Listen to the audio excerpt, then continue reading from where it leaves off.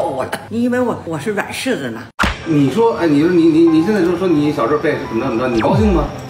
你总是心太软，心太软，这就是王小飞呀。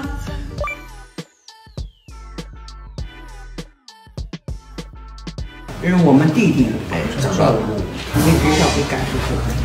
为什么？经常不去上学。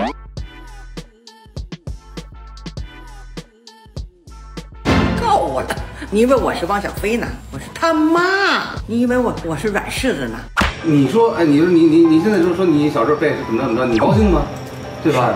那肯定不行，小孩他需要鼓励，转不转学，选择一个更需要他的这个学校，这个是小孩自己的选择哈，他喜欢。中间确实也有我们做父母的疏忽，这几年的陪伴少一点或者怎么样，我觉得这不是说简单的一个问题去归咎到某一个人或者某一件事情。你总是心太软，心太软，把所有问题都自己扛，这就是王小飞呀，这不是他妈，他妈可不是那个。